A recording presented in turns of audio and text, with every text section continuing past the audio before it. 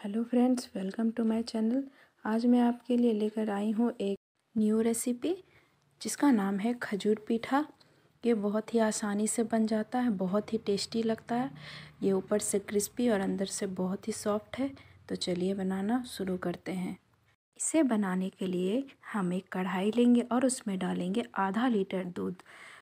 दूध में उबाल आ गया है और अब हम इसमें डालेंगे दो कुटी हुई इलायची। इलायची को डालने के बाद हमें कुछ देर तक दूध को चलाना है।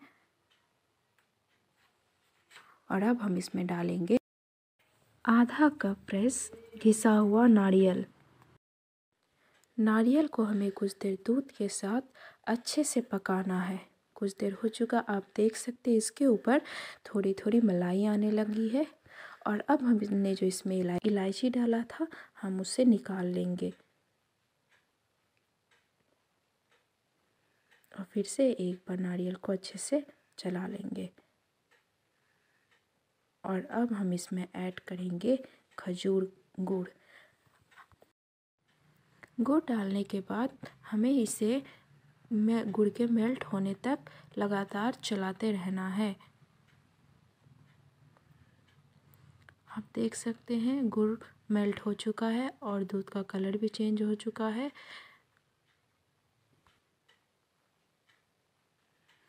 और अब हम इसमें ऐड करेंगे चावल का आटा। हमें हमें इसमें थोड़ा थोड़ा आटा डालते हुए इसका एक डो तैयार कर लेना है। यहाँ फ्लेम मीडियम रखें। और आप इसे लगातार चलाते हुए इसे पकाएँ जब तक ये डो के फॉर्म में ना आ जाए। ध्यान रहे आप इसे लगातार चलाते रहे, वरना ये नीचे से चिपक जाएँगे।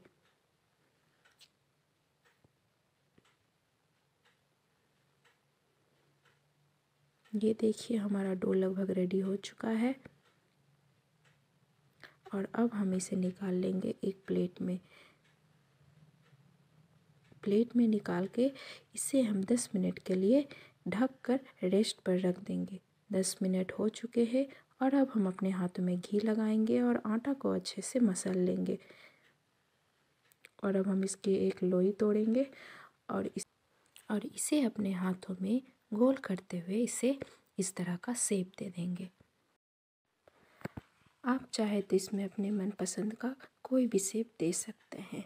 अब सेम प्रोसेस से हम सारे पीठे को तैयार कर लेंगे।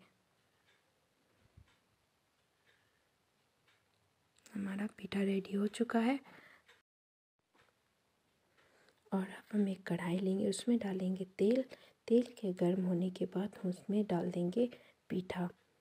तेल ज़्यादा गर्म ना हो और हमें फ्लेम को मीडियम ही रखना है, वरना ये ऊपर से जल जाएँगे और अंदर से कच्चे ही रह जाएँगे।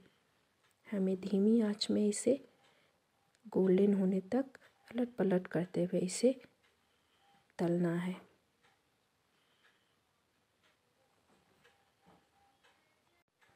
हमें इसे थोड़ा थोड़ा चलाते हुए इसे पलट देना है और दूसरे तरफ़ से भी इसे तल लेना है। ये देखिए इसका कलर गोल्डन हो चुका है, कितना अच्छा कलर आया है। हमारा पीठा बनकर बिल्कुल रेडी है। अब हम इसे एक प्लेट में निकाल लेंगे। और सेम प्रोसेस से हम बाकी सारे पीठे को भी तल लेंगे।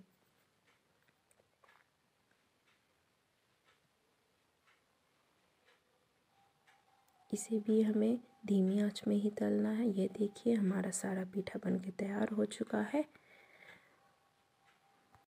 तो आप भी ये रेसिपी एक बार ज़रूर ट्राई करें और मेरे चैनल को लाइक करें सब्सक्राइब करें और कमेंट में बताएँ कि आपको यह रेसिपी कैसी लगी। Thanks for